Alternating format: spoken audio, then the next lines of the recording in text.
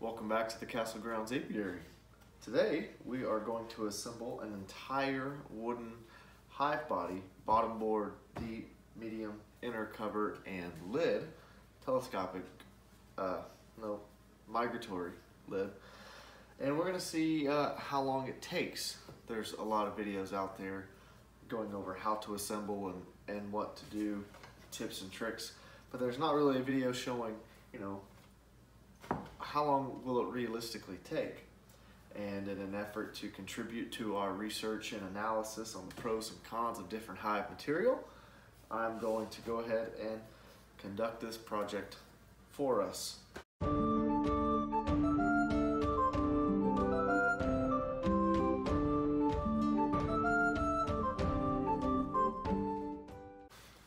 Not going to be in a hurry, but we will time it. It is 5:10 a.m. And we're just gonna whip this thing together. So I'm not gonna talk a lot. I'm basically gonna fast forward and uh, maybe maybe slow it down a, a couple times to talk about a few things, but we're just gonna jump into it. We're gonna use lots of Titebond. We're going to use our $20 Harbor Freight pneumatic nailer, brad nailer with 18 gauge brads. And that's pretty much all there is to it. So I use a little uh, plastic souffle cup for all my uh, glue up projects, just because it's a lot easier to work out of, at least for me, and they cost next to nothing. So that should be plenty of glue. I'm not gonna do any frames as part of this experiment, and that's because um, that's a consistent. You know, you're going to use those on on whatever type of hive material hive you use. I know most people probably think, what would we use besides wood? Well, there's lots lots of options, and it's been kind of at the forefront of Brandon and I's thoughts as we look to expand the apiary. Hives at this point, once you can split and queen rear, the material to build the hives is really the most expensive part of an expansion. So, if we're going to spend a lot of money on it, we want to know that we're getting the best possible product for the best possible price. So we've done a lot of concrete hive experiments already or testing.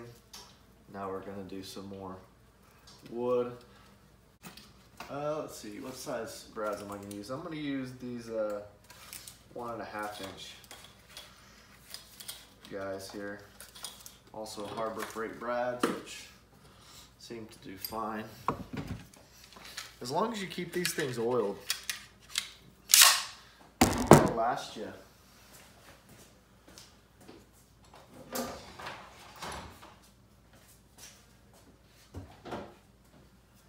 couple additional tools you're probably gonna need. A mallet and a speed square to make sure that we are, oh, I'm getting glue everywhere, come on.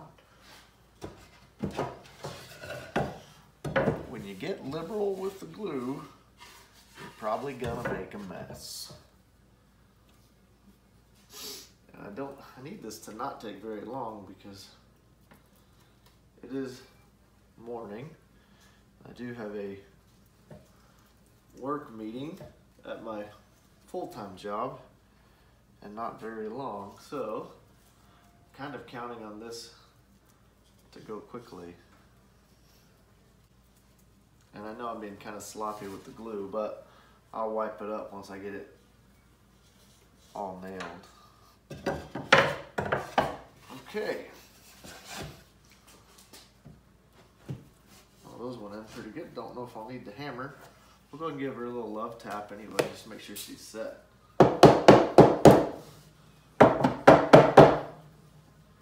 Looks good. Take your speed square, set it in here. Look at that, there's a bee on there. bee doesn't want to leave. Okay.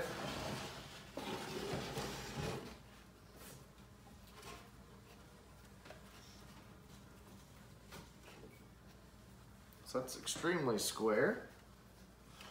That's good.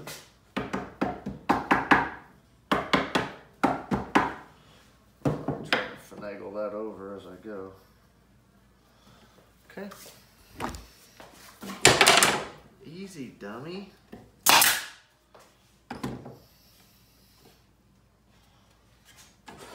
I'll hold that square up there one more time as we see. These things can't easily get out of square if you don't monitor as you go.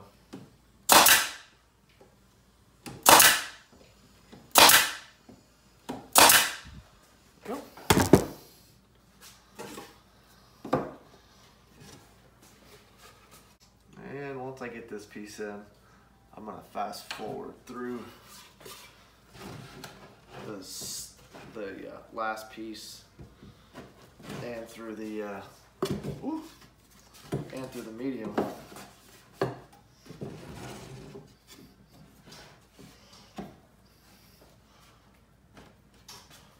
Getting glue everywhere. Okay.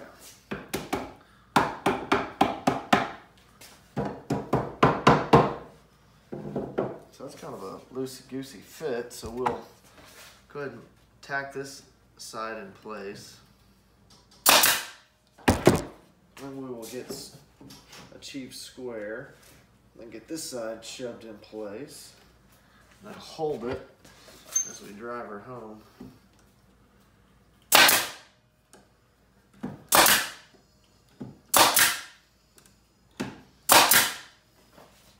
All right, now that that's done, I'm gonna go ahead and flip to the front. And put the nails in the face here.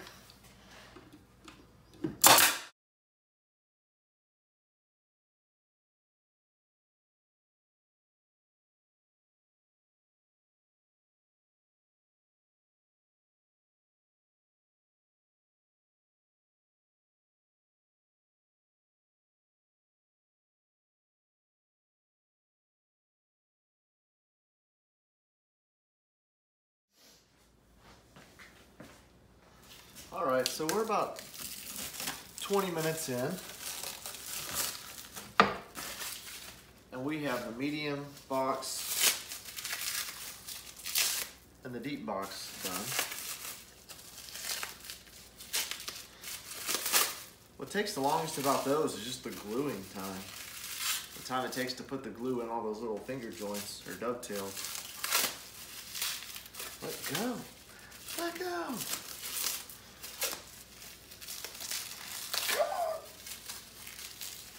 Come on now. Okay.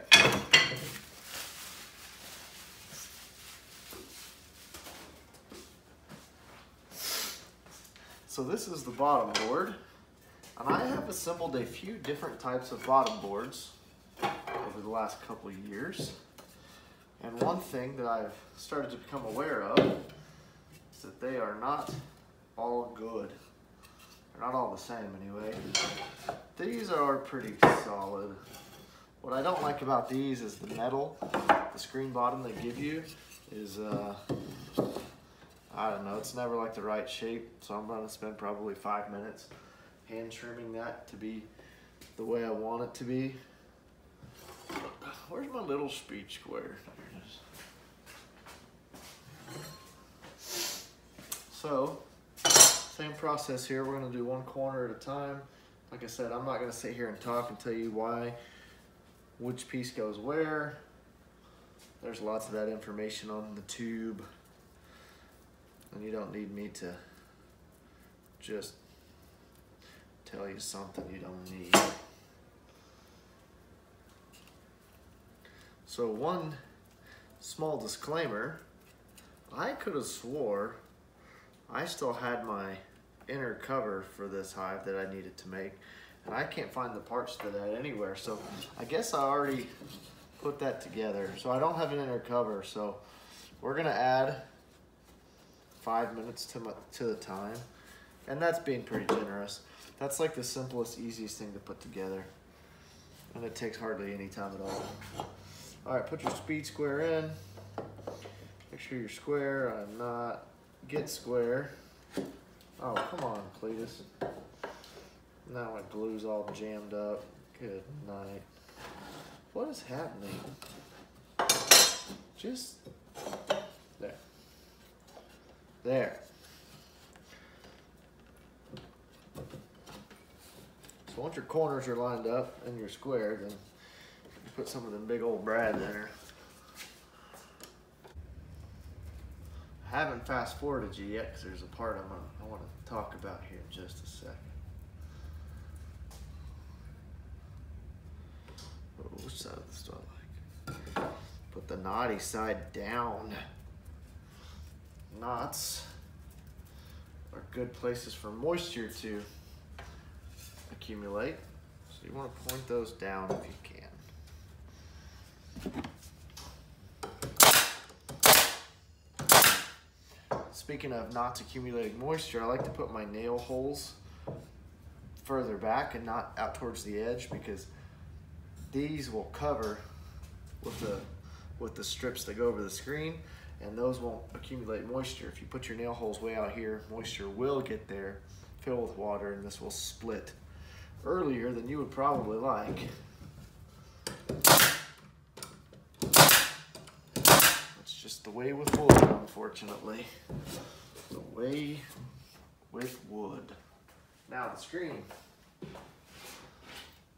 Come on, bees. Where all these bees come from?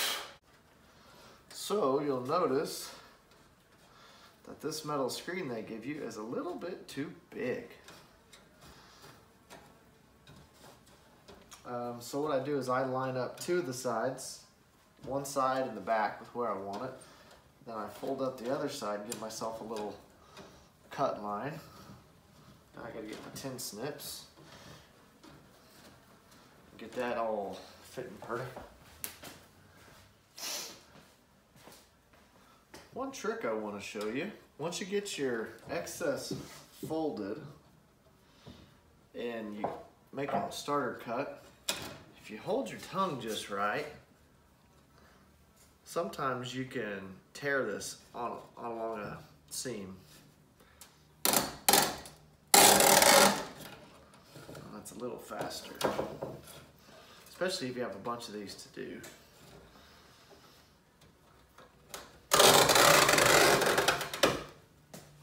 Hey, you just put a hole in my favorite shirt. There we go. well, so now we fit east and west. We're just a little long north and south. This hangs out over the landing board quite a bit. I don't like that. So what I do, and if you've noticed on some of these screen bottoms that assemble this way with the wood pieces that go around the, the outside, is that a lot of times at the entrance it's very wavy and which means some places are good for bees to go in, some places are not. Kind of hard to use a uh, entrance reducer. So what I like to do here is get the back where you want it, and then create another fold right to the end of the wood. And this is going to do a couple things. It's going to give you a clean line where the metal is and it's also going to allow you to hopefully get it nice and flat. It gives it some more rigidity so that it's not so, you know, undulating at the entrance. And one way to achieve that is by folding it over and then taking your hammer and just giving her the persuasion.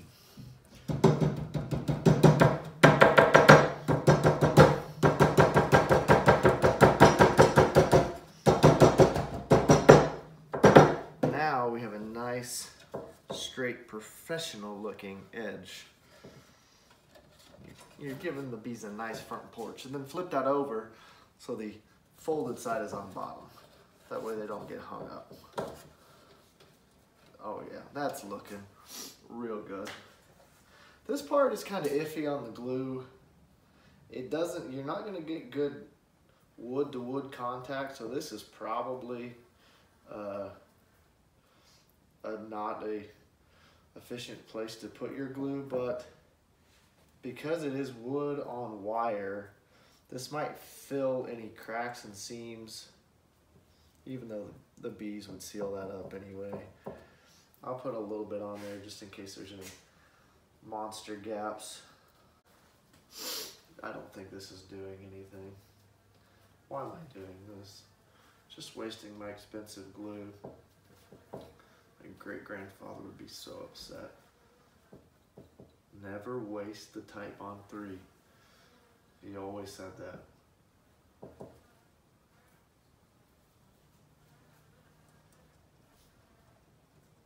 Okay, whatever. Oh no, oh, almost spilled it.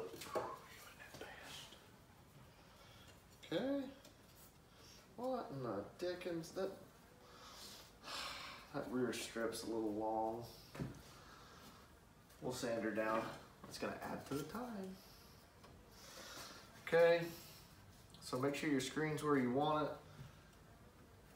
I like to start with the rear piece, get it lined up and where I want it, then you can take the side pieces and just back it on up to it.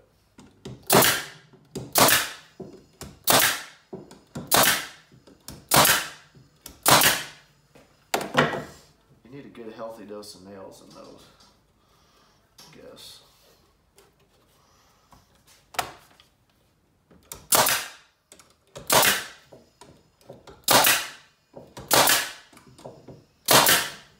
Whoa. That old boy just about shot right through the side of that. You'll also notice that I have covered up my previous nails hole, nail holes with this, which is what we were going for. Well, we're getting long on time. The bottom's done. Next, migratory cover. This old boy is pretty straightforward. Slop the glue in the trough. This is, the glue here is important. And if you don't glue it up good, go ahead and run some silicone or caulking or some sort of sealer on the top because this is a, this thing is a trap for moisture, which is why you never see one of these tops last more than a few years. Which is why I'm you know, we're even in this point, you know, wood hives. People say, you'll hear people say, oh, we gotta wood, wood if you paint it will last you decades. Well, I think it's possible in some cases wood can last decades, but I've never seen it a bee box that's 20 years old. I'd love for someone to show me one. Okay, these should just slide in. They were kind of tight a couple of the other ones I did. But, that's not too bad. Get one side started and then just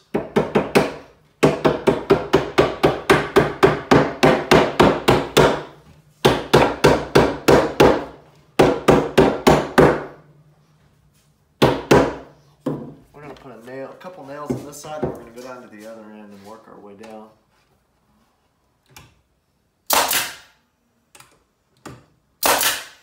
Easy to have blowouts here, so get your nail gun lined up. Okay, that looks good. And when I mean to get your nail gun lined up, if your nail gun is pointed a little cockeyed, when you shoot this through, you'll have your blowouts come out the side. You don't want that.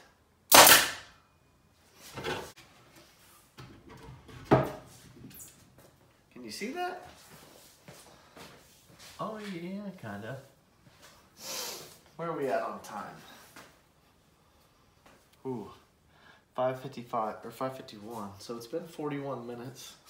We're gonna add five minutes for the inner cover that I can't find.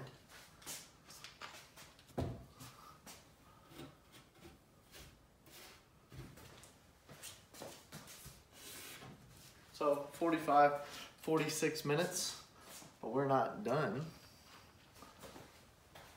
The way I did this landing board is, it looks really good. The metal's not all sticking out, looking like crap. It won't obstruct a, a entrance reducer. Nice and flat and clean edge. That's what you want.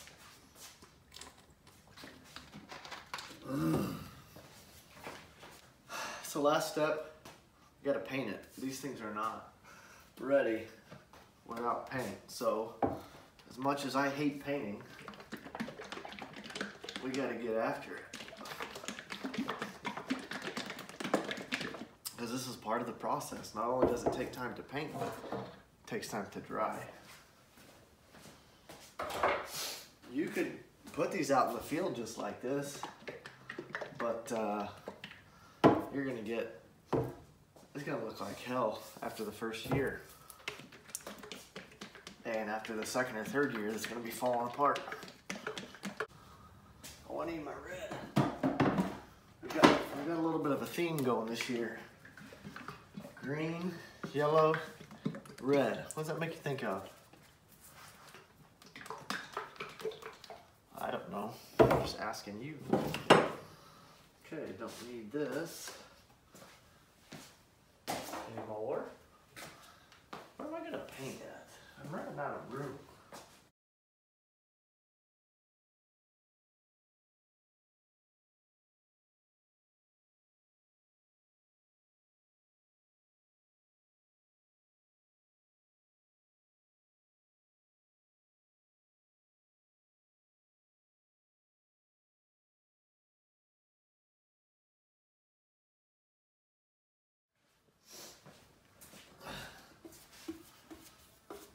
Know, I told myself I wasn't gonna talk during the painting process because nobody needs me to tell them how to paint. One, I'm a terrible painter. And two, it's pretty self-explanatory. But I did want to mention one or two things real quick. And it is really important that you put a nice thick coat on these corners. One, if your boxes are like ours, they're not gonna fit together perfect. There's gonna be a little bit of gap and what the glue doesn't fill, the paint will hopefully help to fill. And two coats will, will go a long way as well. This is a, an expensive Valspar exterior paint primer in one. It's pretty good stuff. So we're just gonna do one coat, but I do make sure I get it on really thick in the corners to help seal it up, but also because these end grains are the most porous point on the entire hive, which means they'll suck up the most paint. So I really give them a good healthy dose right from the get-go because they are the most porous part of the box. That also means that if you don't get them covered well, they will suck up moisture and rainwater very quickly and you'll start to see these swell and crack split within even the first season if you have really wet weather and you have really you know unsealed boxes. So just keep that in mind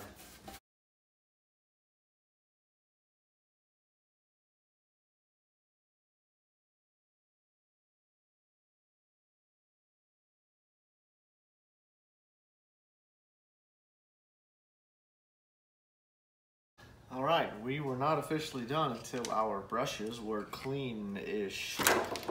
So, at this point, we will stop the clock. We are at 6.22. So that's one hour and 12 minutes. We'll add five minutes for the assembly of the inner cover, five minutes for paint. So that would take us to 6.22, 6.32. So one hour, 22 minutes, start to finish taking no breaks. Uh, but keep in mind, I do have all the tools right here. I have done this multiple times, so I kind of have a process in place. Not a lot of guesswork. Don't need to like, you know, read instructions or anything. So, hour and 20 minutes. Granted, as you do multiples of these, your your time per unit for construction would go down. I would say as you do three, four, five of these, it's going to be take 30% less time off the clock as you do more. But that's the case with everything. So one hour and 20 minutes is what you'll need to put this together if you have everything you need already set up and ready to go. So anyway, like I said, this, this whole experiment is part of a whole other long list of videos and experiments that we're doing to really weigh the pros and cons of wood. No, this video is not sponsored by Coca-Cola. Um, so hopefully that was informative for you. And if you have any questions about the process or why I did anything that I did, just uh, let us know in the comments. Thanks for watching.